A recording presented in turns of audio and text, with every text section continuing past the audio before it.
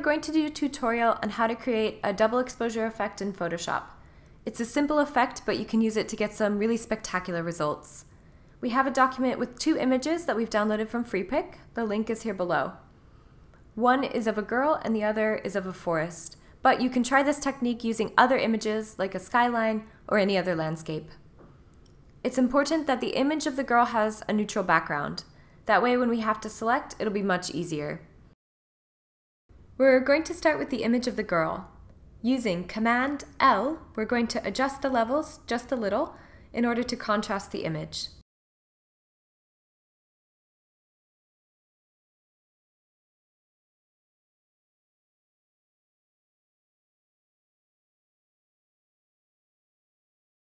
Now, using the Magic Wand tool, W, and pressing the Shift key, we're going to select the background.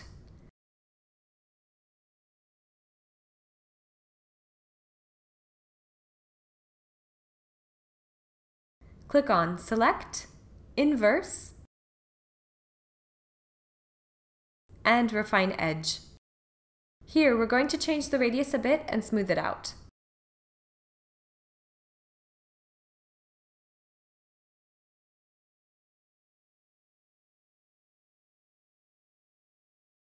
When you finish, select New Layer with Layer Mask.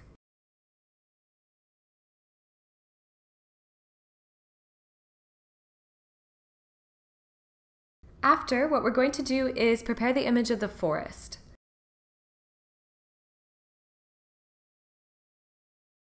We're going to duplicate it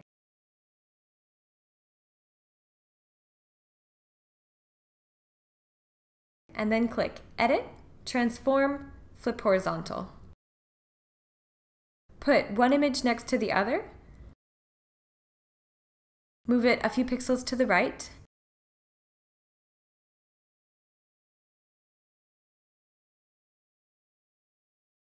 and duplicate it again.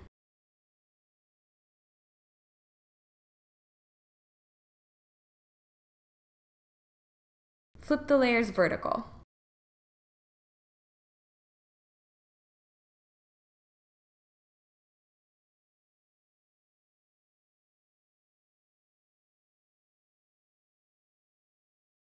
What I'm going to do now is press Command E to merge the layers.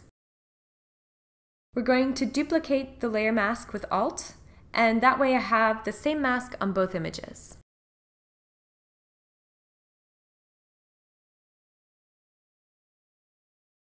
Desaturate both the images using Command, Shift, U, the image of the girl as well.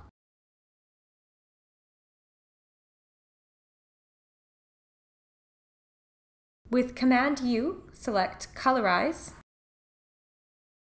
adjust the blue, and reduce saturation.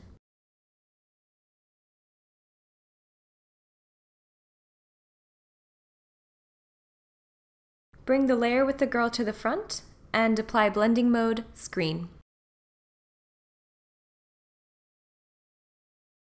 Now we're going to make a layer underneath and fill it with this color.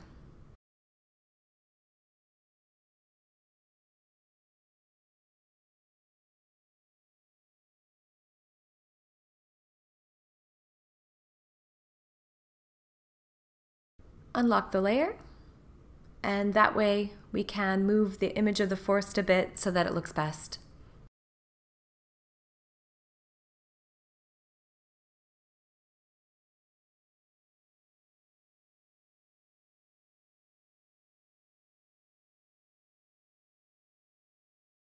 Select the layer mask for the image of the girl and with the brush making sure that the hardness is zero. Touch up the image and you can highlight some elements.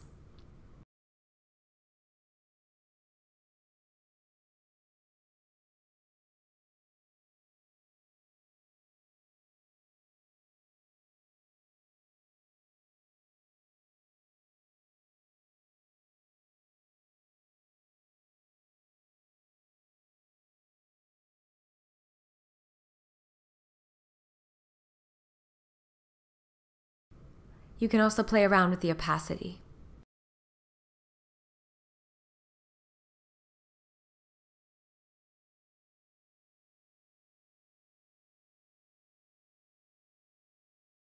This is the final result of our tutorial.